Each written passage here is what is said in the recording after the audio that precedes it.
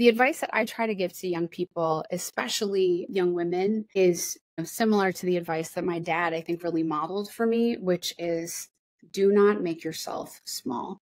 Take up as much space as you can. And I think we are in a moment uh, where, especially young women, need to feel confident in themselves and realize that they are experts in their own life and that they bring so much value into every space that they enter into. So I literally will watch it, right? If I'm in a classroom or I'm with young people and I say, don't make yourself feel, you know, don't make right. yourself small. There are plenty of people who will do that, for right? You. Yeah, for, they'll do it for you.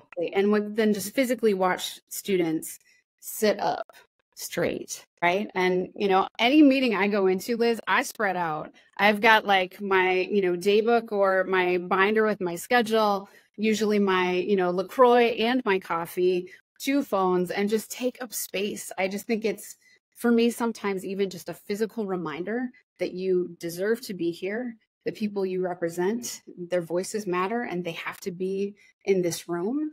And that there are so many people who loved me into existence that I come from who yeah. also need to be represented well at that table. And I need to, yeah. to do that in a good way.